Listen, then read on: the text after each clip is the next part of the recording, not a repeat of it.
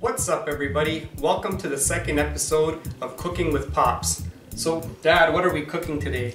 Uh, we'll be cooking uh, shrimp fried rice today. For those of you who don't know, this is one of my dad's most popular recipes. My friends and my relatives always request this item. So for all of you who've been wondering and waiting to see how this is cooked, here it is. In this recipe we have uh, used rice. We'll be using two mugs of rice. It's a basmati rice. This rice will be washed up and part of the starch will be removed and then we'll cook it separate. We have large shrimps, tiger shrimps. We have smaller shrimps, red and green bell peppers, chestnuts, cob of corn, baby cob of corn, mushrooms, light soya sauce, canola oil, sesame oil, black pepper and salt. So what we'll do is we'll start with the rice. We have washed up the rice. We have two mugs of rice. We have put four mugs of water and that's what this kind of rice requires.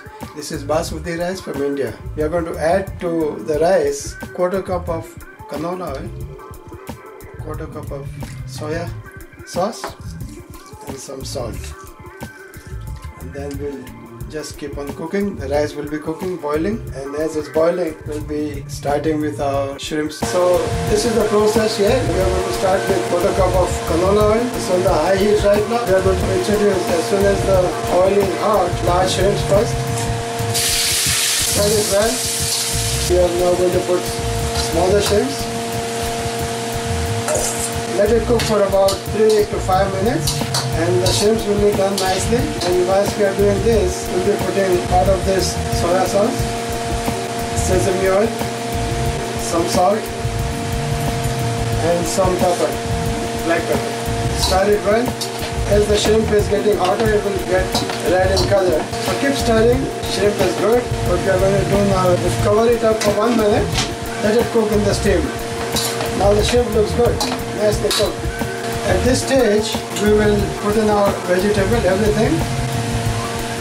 Red and green bell pepper, mushrooms, and mix it up with shrimps. In this case, mushroom, we have enough mushrooms here. When they get hard, they will produce the juice. It will become watery. Put the rest of the soya sauce. As the water boils, boiling now, and now I'll cover it up for about 4 minutes or so because we have a bunch of vegetables there. They have to cook nice. And you don't want to overcook the vegetable. You want to leave them nice and crispy. So when the rice is finished, it will be nice and crunchy. Rice is boiling on high.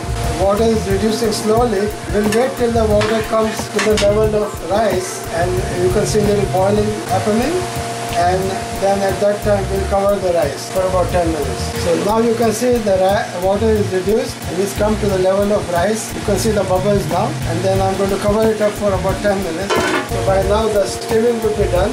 I'm going to remove the cover looks good. Nice. I'm going to shut it now. This is ready for mixture. You can see the final as it's cooked and this is it. We are going to mix up with rice on the other side. So now the rice is completely cooked. Shrimps and the vegetable, everything is completely cooked. What we are going to do now is take rice, make a layer of rice and then put some of this uh, vegetable and shrimps then take a second layer and then do that and I'll show you how it is done. Okay, now I'll put a layer of our shrimp and vegetable. Take out water as much as I can. The bottom, lots of shrimps, lots of vegetable. We'll put a second layer of rice on top of this. Spread it nicely.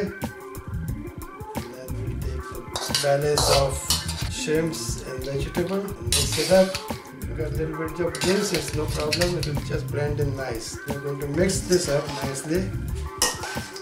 We are not putting too much oil, too much frying of rice and everything. Rice is actually boiled and only thing fried is the shrimps and even that is steamed partly. We call it shrimp fried rice and it gives the effect of shrimp fried rice. You will get some healthy food. That's how we do it. Some of these shrimps, rice and vegetable. Lots of fun to eat. Delicious rice. This is the final product in plate. Thanks for watching. See you next time.